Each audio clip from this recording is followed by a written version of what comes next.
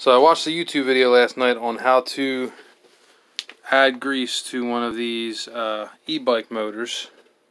That's my lovely dirty e-bike motor.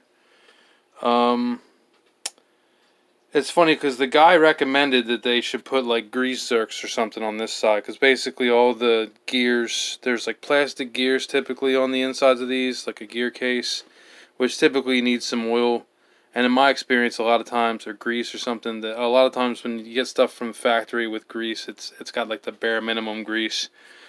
So after putting like 1500 miles or whatever on this thing, uh, definitely needed some grease. Um, what I initially tried to do is what the video said is I basically I took the wheel totally off and uh, started by taking these nuts off and trying to take the cassette off and then bang this side to get the uh, the whole gear case exposed and everything. But um, for whatever reason, this this particular motor on this Rattan e-bike here didn't want to open like that. It seemed similar. I took the screws out from here and it allowed me to take that uh, cassette off, but um, this was not budging. So um, I started decided to do this way too late at night, and I had work early in the morning. I needed this to get to work, so I decided to just put it back together. Um, I put some grease. Basically, what I wound up doing is I uh, took off the the disc brake here, and all those the six screws that hold the disc brakes on. Those are basically like grease zerks. They're basically just holes into that gear case. Um, so since I couldn't get the dang thing off to get in there. What I did was I took this uh, this Molykote grease, which I always say is good for stuff. I think for this it's actually good for this because I'm pretty sure it won't corrode any of the plastic or rubber or anything in there. And it's a nice grease.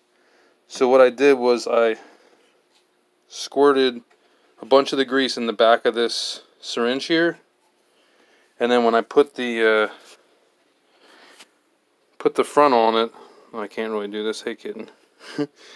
Basically, when you put the front on it, you can condense it all to the front, and it'll all come out this tiny little end opening, which is perfect size for the uh, the screw holes there, basically. I basically just injected this with a ton of grease, um, so much so that when I eventually mounted this cassette back on, uh, there was like even, it was kind of cool because it was very even. Um, out of each six of these um, disc brake mount holes, there was an even uh, spray of the, like basically like a line, six lines of the uh, lubricant sticking out.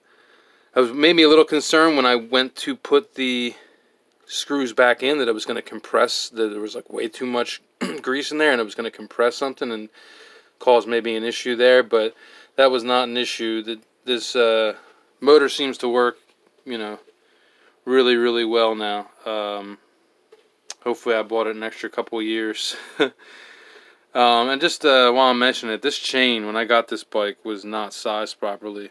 Um, so if you have an e-bike and you feel like the chain's falling off a lot, you might want to double check to see if that chain's actually on there sized properly. Which there's cool YouTube videos. I think Park Tool think I've watched that video like three or four times to try to chain up, a, size up a bike chain. It's a really easy to follow thing. Um, just something, I don't know, just another extra thing to think about. If you got a new one of these bikes, it, that chain might not be sized properly because it can fit on there and work, but still not be proper. I think the tension in the derailleur is not right, so it's kind of looser than it should be. I mean, it should still be loose, but I don't know, it was hella loose before. And yeah, that's the quick, easy way to change out grease. Or add grease, at least. Hope that helps.